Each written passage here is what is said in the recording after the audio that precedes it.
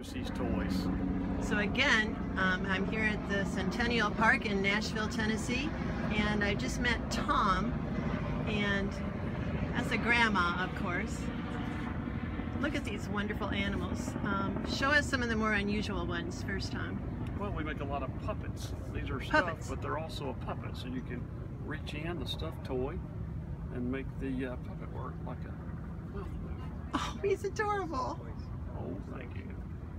And how much is something with all of that work in it? This one's 58.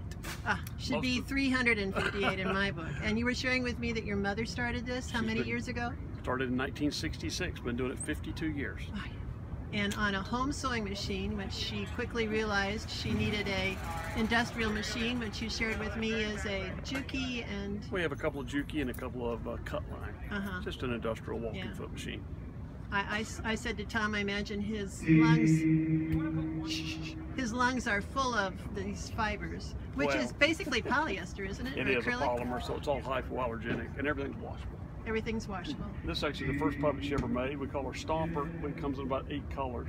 Uh-huh. It's just a long-legged crazy bird. Oh, he's wonderful. And he's how much? He's 29. Oh, $29. Now, start to finish, how much time would that take? Uh, Well- two days. yeah, but we make a lot at one time. So she makes all the feet and all the legs. Yeah. comes- so she does a lot at one time. And is this all still in home? oh yeah, my mom, my sister, and I, and one other lady make everything. Oh my. Yep. So this is your living? Oh yeah, I've been doing it, like I said, 50 something years. Oh my. And what's your specific job, Tom? I do all the cutting. Uh, Cutting. We have a yeah, big cutting knife. We used to cut everything by hands, but now we do a cutting knife, layers about six inches thick. So I do all the cutting. Then we all do some of this turning and stuffing and stuff like that. Yeah. But my sister puts on the eyes. Mom is really the creative genius as far as the Uh-huh. patterns. Right, and she said she makes her own patterns. Oh, yeah, Now, does she own sell the patterns? Uh, no, we don't. No, that's your property. Yeah. Yeah. So show us a few more of your original, unusual. Well, they're all original. She makes all of her own puppets. This is a fun one too. Instead of being stuffed like the dragon, it's got a double lining in the neck so that he can pull his head. Too cute. Cute. And the eyes. Um, grandmas are always worried, you know, kids swallowing. So Well, these look a little commercial. They are, Mhm. but they're federally approved child safe. It has a big washer on the back, so the eye itself is like a mushroom shape, and the stem of that mushroom goes through a one-way clamp. Okay. You have to break them to get them off. Okay. And the stuffing, what are you stuffing them with? It's 100% polyester, polyfill. 100% conjugated polyfill, so it's all Okay. hypoallergenic and machine washable because it is washable.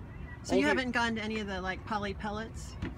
Uh, we do that on our little bean bags. Uh-huh. Uh, so these are instead of being bean filled, they're like a polyester filling. Yeah. The little pig is real popular. We do it, of course, in the pink, but then the spotted pig is fun. Yeah. And they have some of the polyfill that's a conjugated fiber, but it also has the beans to give Uh-huh. it some weight. Just There is so much work to stuffing. I teach young girls in my sewing studio, and when they make something with stuffing, I keep saying a little bit at a time, and you got to get it in there. I made a doll for my granddaughter, and I used the poly pellets first, and I thought it looked like the doll's legs had cellulite. So I took it out and yeah, the replaced conjugated polyfill is nice. Yeah. Look here at this sloth.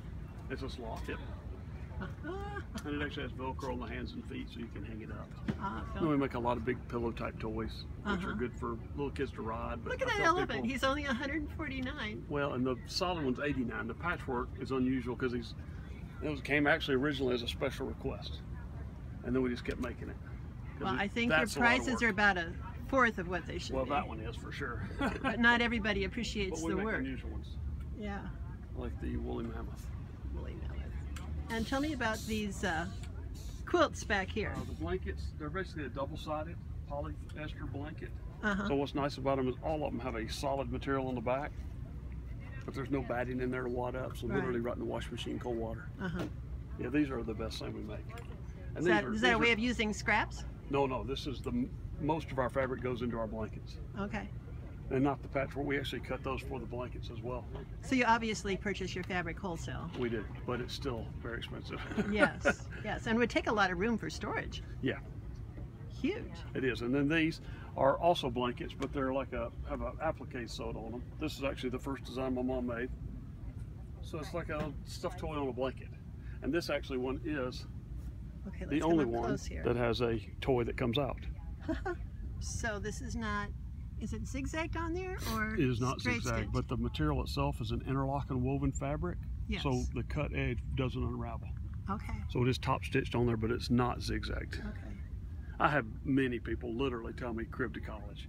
The only thing their daughter took to college was their blanket, or the only thing their son took to college was their blanket that they got as a child gift when they were born. Oh my! And the blankets are The one that I showed you like that, the kangaroo, all those are the same price, 119, and they Uh-huh. measure four by five feet. I was going to ask the size. Yeah, which is a good size for kids. It's big enough for a twin, Uh-huh. but not too big for kids to drag around. These are full size, the first one I showed you. Yeah. I think the puppets really grab my eye. They're what's been popular the last few years, it seems like. teddy bear type. Yeah. And they, she adds a new one every year. So they've literally, when we first went, when I was a little kid, we used a hat rag with about eight puppets, two or three colors each. Now there's 80 different puppets. Wow. We're making our first round here, but granddaughter just might have to have a they are fun. And a lot of them move their mouths. There's some of the ones, the older style puppet, you know, would move its hands instead of its mouth. So this Uh-huh. is one of the, and this one comes in about eight colors. The bunny rabbit, lop-eared bunny. Oh, he's so cute. So you said he moves his mouth as well? He does not. Oh, he does not. Older style ones. puppets don't didn't move their mouth like all the way back to Kukla, Fran, and Ollie. You know, they would move their hands, but not their mouth. Okay. Now most puppets move their mouth. So how big of a space do you work in? Well, uh, we have a little farmhouse that was on a farm that my folks bought like 40 years ago, and Yeah. she does it in that farmhouse. Okay. And then they actually built a little addition to that as well. And home base is Anniston, Alabama. Alabama. All right. Thank you so much, Don. Oh, thank you. I appreciate it. XYZ, and mom like sure.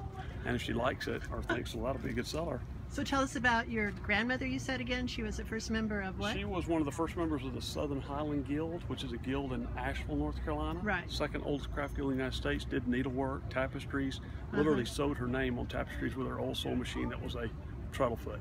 Wow. So she was amazing. So mom grew up doing needlework. Yeah. And then Yeah. See what teaching your kids how to sew can lead to, ladies? All right. Well, thank you again so much. thanks. It was nice talking to you.